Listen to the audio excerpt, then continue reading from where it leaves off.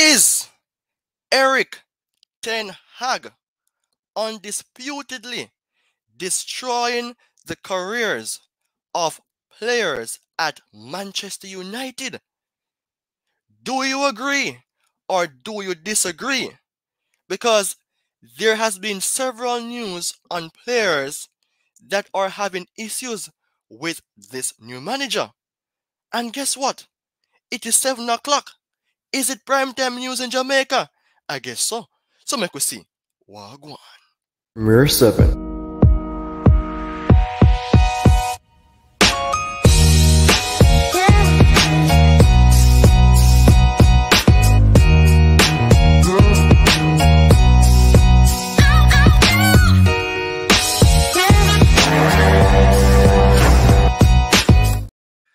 Welcome to Premier 7, everybody. I am your host of the show, Ryan Nelson. And it has been a while. I haven't introduced my name because by now I believe that you all would have known my name already. Hmm. but I just want to get something out of the way before I speak about the topic. I have hit a hundred videos. This will be 101 and I have 466 subscribers. Things are going. And I just want to say a big thank you to the supporters. And if you're new, watch, like, comment, share, and subscribe to Premier 7. Now, with that out of the way, let's jump into the main reason for being here. Is Erik Ten Hag undisputedly destroying players' career at Manchester United? Undisputedly reminds me of Brock Lesnar in WWE when Paul Heyman decides to introduce him as a champion. But this is all about football. We're not talking about WWE, but we have to make the comparisons because, you know, we're stars. But Manchester United is a club that everyone knows is an headache. It's like it is telling you to kill yourself. It is telling you to, boy, ignore the TV. It is all over the place and someone has to take the blame. For sure, on top of things will be the Glazers. And let's balance it out between the manager and his staff and the players. But I just want to speak about the coach right now. Because I was Ten Hag in, still Ten Hag in, but I know several persons will be saying Ten Hag out. And people, let this video be a video that opens your eyes because this video is one that really and truly needs the recognition, so do not ignore it.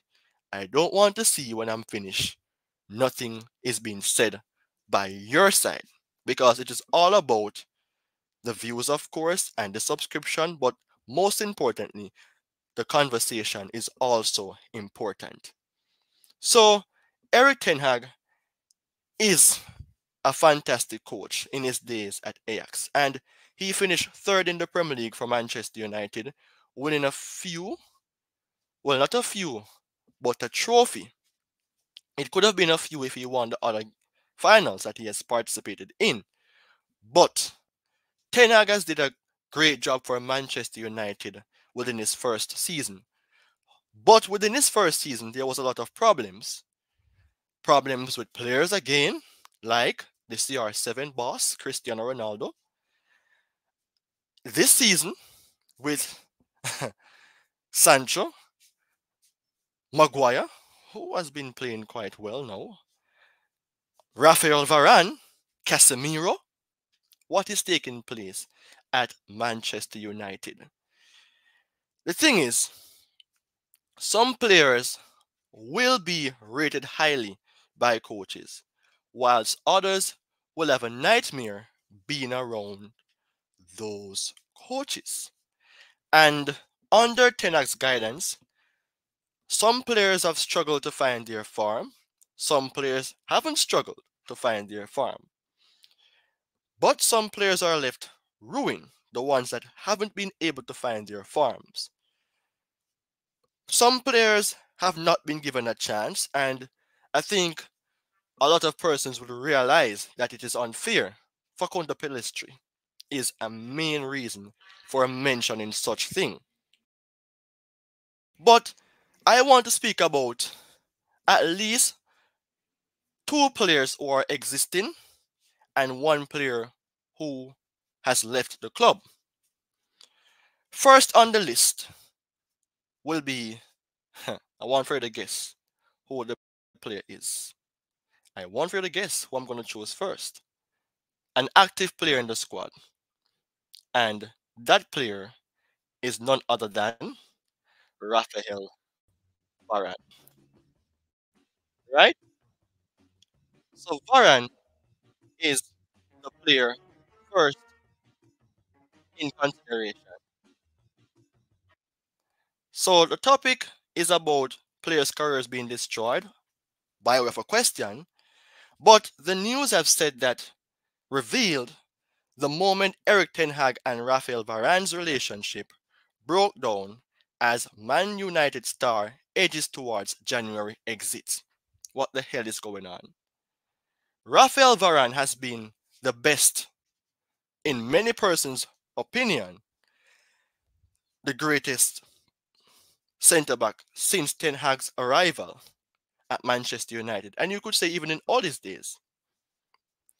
He has undoubtedly been able to bring United out of trouble, securing one point lead, not one point lead, but one nil leads for several games, with the help of, of course, Lisandro Martinez. But Varane is the main man at the centre back position in Manchester. But the news said that Rafael Varane played a critical part in his first campaign under Erik Ten Hag. However, this season there has been a fail, a falling out with the Dutchman. And then in the press conference, it seems as if nothing happened.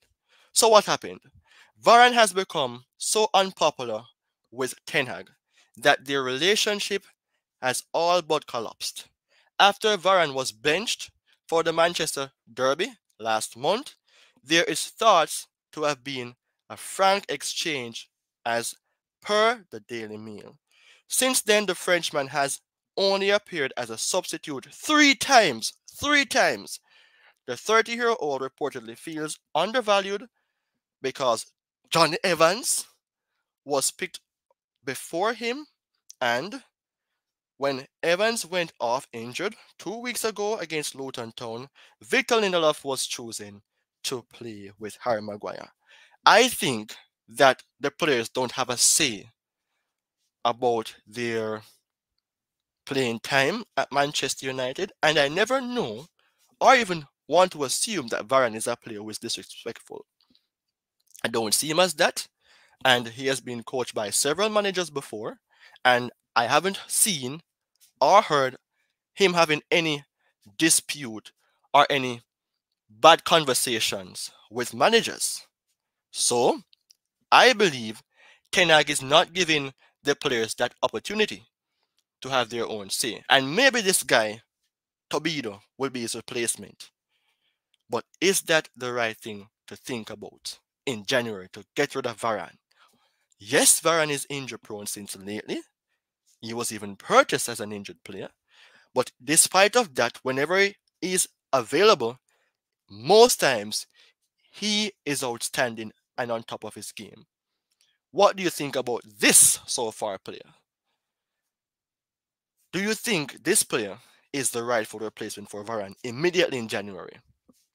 Because to me, Varane should not leave until the summer once he's not injured. People, go ahead and support this video. Go ahead and subscribe to the channel. Next on the list is a player who is still at the club. Out of favor, thrown aside, dashed aside, filling over the place, Jadon Sancho. Bitter news, old news, stale news still existing in the present. Jadon Sancho, Manchester United manager, Erik Ten Hag will not back down in standoff with winger. This one is a case of being somewhat balanced because Ten Hag did not choose Sancho, and we spoke about the fact that managers will have their favorites. And Sancho isn't a favorite of Ten Hag. He has not been, but Ten Hag was lenient with Sancho for several times, and I won't disagree. In that period for which Sancho was depressed and wasn't being able to play for England in the FIFA World Cup in 2022, he took some months, let me not say months, but some weeks, that is correct, off from the club, and he was nurtured to the best of the coach's ability and so forth, staffs, to give him time as well to recover. And then he gets some game time, was looking somewhat alright, and then he was just not playing again. What is happening with Sancho? We all know Sancho isn't playing for Manchester United, but he's getting paid at Manchester United more than 300k a week. A lot more than a lot of players who have been at the club for more than two years, playing more games than him, even was contributing more or even less. This season could have been for Sancho, but we know that Sancho will not be playing for Manchester. Again, possibly he could if the owners are changed. Or Ratcliffe takes up his mantle and say, Ten Hag, we want Sancho to play. Many fans wouldn't want to see him though.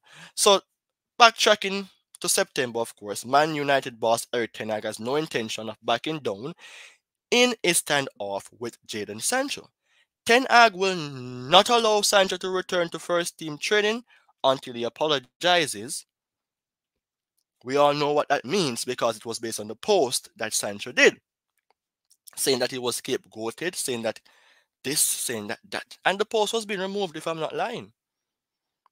But then again, as I mentioned earlier on, I don't think players have that chance to have a say at Manchester United when Ten Hag is in charge two players out of the way. The last one is one of the past.